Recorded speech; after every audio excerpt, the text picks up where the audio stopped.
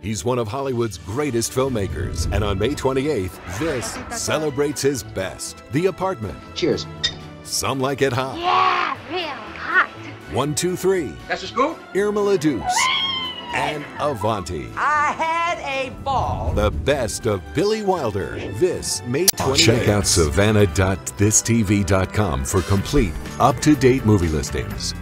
Savannah, Hilton Head, Statesboro, Low Country, Coastal Empire.